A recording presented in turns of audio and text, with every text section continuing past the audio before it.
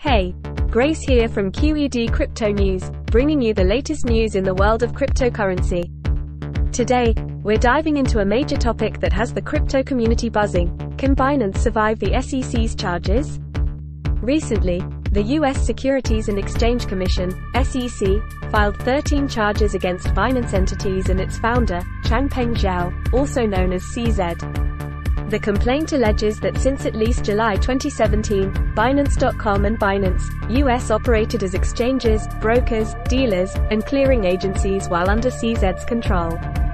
The platform earned at least $11.6 billion in revenue from transaction fees from US investors.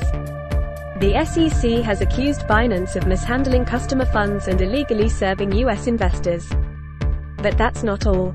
Coinbase is also facing charges from the SEC. With this news breaking out, many are wondering how this will impact Binance, the world's largest crypto exchange, and if it can survive these serious allegations.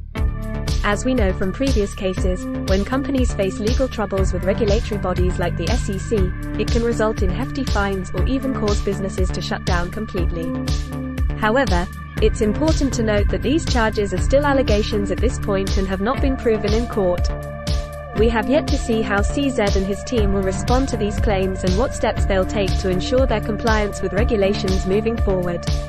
Considering Binance's size and influence in the crypto market as well as its history of adapting to changing regulations globally, like creating separate platforms for different regions, there might be a chance for them to bounce back if they can address these issues promptly. But as always, only time will tell how this situation unfolds for both Binance and Coinbase.